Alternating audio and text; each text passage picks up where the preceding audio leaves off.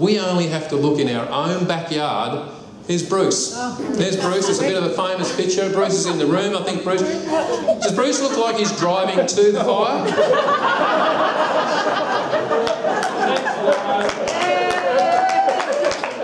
Can I put to you, ladies and gentlemen, the fact of the matter is, do you reckon even Bruce, if he tried to turn around in his truck and there's another truck behind him, do you reckon he would even be able to put out the fire if he went there? to me, that, that picture there says it all.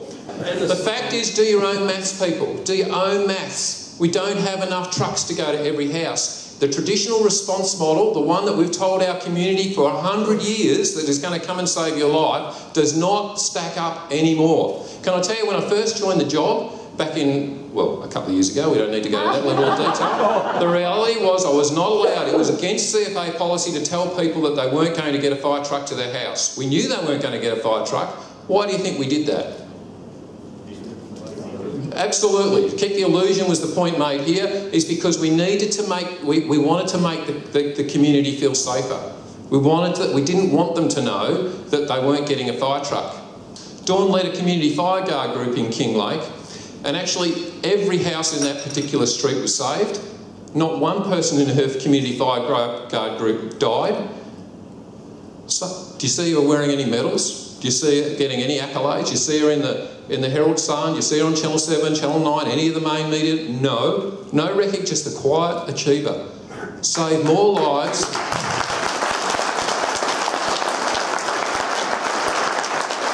I say, I reckon there's probably at least 100 dawns in this room that, that you people have the power to, to make that change that we cannot do with the provision of a fire truck. The interesting thing for those that were here last year was a guy here called David Chalk, I think his name was, David Chalk.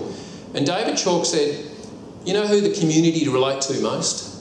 It's not the shiny bums out of headquarters. It's not the bloody buffins, buffheads in suits or the, the school teachers that we may employ under a volunteer, under the uh, Fire Ready Victoria campaign. It's actually the local person and the local community that they will listen to. And this is Terry asked me to say it. I didn't want to say it, Terry. It wasn't part of the journey. This is why we, we created the caftan wearing community safety department and the knuckle dragging uh, fire hose people. I was going to mention Terry, but Terry did ask me to say that. We created the two departments in our organisation because we recognised, well, we need to get in contact with our community. But our firefighters can't do it because they are just knuckle dragging. They were not going to connect with their community. They're environmental vandals. They are just no good at all. They're only good for putting wet stuff on red stuff. Uh wrong, wrong CFA. We need to change that around. We recognise now the power is we've got to have our, our, engage, our brigades engaged in the community, giving both suppression and prevention, a community message and empowering. We need you. I want everybody, in, I thought about actually handing out a, a baton and said, I want everybody to take this baton. And when you leave here, you take the baton and you you're, you're then charged with the responsibility of, of actually um, empowering your community or getting your brigade on board. I said to the, uh, the CEO there at the start, interesting, we have 65,000 volunteers. We know about 20, maybe 30,000 are operational. Most of those people are also, a lot of those are community practitioners, engagers. What are the other 40,000 doing? I put to you, we've probably got equally as many people that are only interested in giving a community message. And again, like Dawn, has the potential of saving more lives than any people will in a fire truck. Interesting, isn't it? The movement continues. It continues to grow. It is getting bigger. People are starting to recognise it around the, the world. But are we there yet?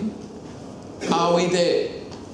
I put to you, does every home have a working smoke alarm? This is not just bushfire. This is not just natural events.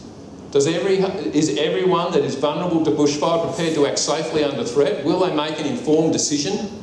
Or do we still have people that are sitting watching their telly on a hot day with the curtains down, watching the cricket with the air conditioner going, and don't know there's a bloody fire until someone puts it across the bottom of the screen? We've got a lot of work to do to make Victorians and indeed South East Australians, but a couple of the New South Wales people here, so I'm making it a little broader, to make people safe.